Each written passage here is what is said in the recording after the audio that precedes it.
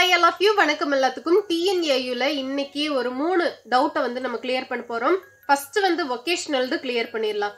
ஒகேஷனலுக்கு உங்களுக்கு ஒரு ஒரு வாரத்துக்கு முன்னாடி ஒரு நியூஸ் வந்துருந்துச்சு. அதில் நிறைய டவுட் கேட்டே இருந்தீங்க ப்ரைவேட்டாகவும் சொல்லிகிட்டே இருந்தீங்க.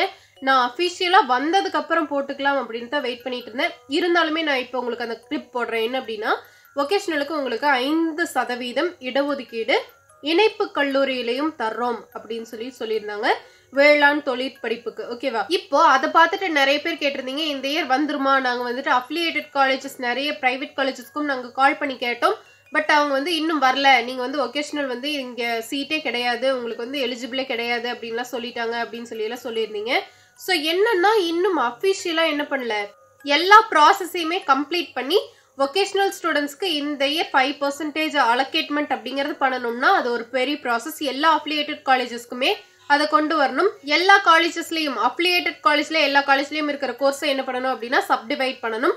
அதுக்கப்புறம் உங்களுக்கு five percentage of vocational stream பிரிச்சுட்டு மற்ற அந்த கம்யூனிட்டி வைஸும் அவங்க பிரிக்கணும் ஸ்பெஷல் ரிசர்வேஷனுக்கும் பிரிக்கணும்.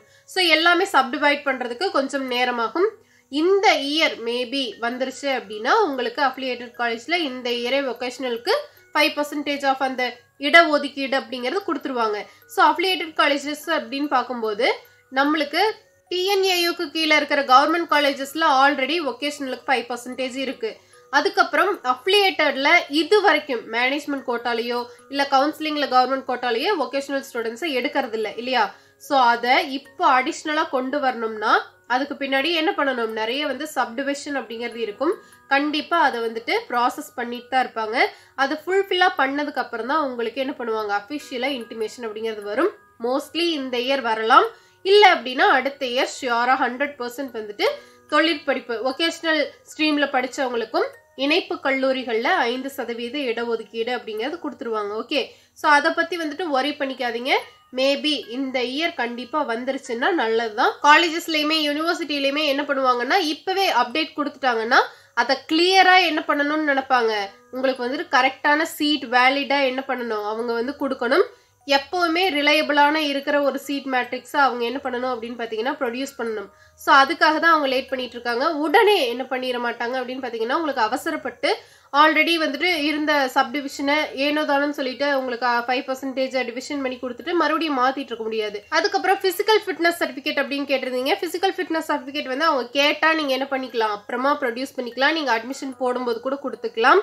இப்போ அடுத்து வந்து எம்பிசி ரிசர்வேஷனோட பெரிய இஷ்யூ என்னன்னா எம்பிசி ரிசர்வேஷனால தான் போகுது அப்படின்னா அந்த எம்பிசி ரிசர்வேஷன் கேஸ் ஒன்று எவ்வளோ வருஷம் நடந்தாலும் அத்தனை வருஷத்துக்கு வந்துட்டு எங்களுக்கு அட்மிஷன் நடக்காதா அப்படின்லாம் கேட்குறீங்க பிகாஸ் இந்த கேஸில் ஏதோ ஒரு ஆல்டர்னேட்டிவ் டெசிஷன் எடுத்துட்டாங்கன்னாலும் உங்களுக்கு என்ன பண்ணிடுவாங்க அட்மிஷன் அப்படிங்கிறது ஆரம்பிச்சிருவாங்க. எம்பிசி ரிசர்வேஷனுக்கான அந்த விசாரணை அடுத்த வாரம். ஸோ அடுத்த வாரம் என்ன கொடுக்குறாங்களோ அந்த அப்டேட்டை வச்சுட்டு என்ன பண்ணிடுவாங்க எல்லா யூனிவர்சிட்டிஸுமே உங்களை விட என்ன பண்ணுவாங்க? அவங்களுமே ஈகராக தான் வெயிட் பண்ணிட்டு இருப்பாங்க. ஏன்னா அட்மிஷன் ப்ராசஸ் அப்படிங்கிறது அவங்களுக்குமே பெரிய ஒரு ப்ராசஸ் தான். ஸோ சீக்கிரமாக முடிக்கணும் அப்படிங்கிறத எல்லாத்தோட ஆசையும். ஆனால் என்ன பண்ணணும்? கரெக்டான ஒரு ஃபார்மேட்டில் முடிக்கணும். எல்லாத்துக்குமே அது கரெக்டான ஒரு ஃபார்மேட்டாக இருக்கணும். அதனால தான் எம்பிசி ரிசர்வேஷனுக்கான அப்டேட்டும் நம்மளுக்கு என்ன ஆகுது? லேட் ஆகிட்டே போகுது. இப்போ ஸ்டேட் கவர்மெண்ட் ஸ்கூல் கோட்டா கேட்டிருந்தீங்க. ஸ்பெஷல் ரிசர்வேஷனுக்கு இப்போ சர்டிஃபிகேட் வெரிஃபிகேஷனுக்கு கூப்பிட்டாங்க.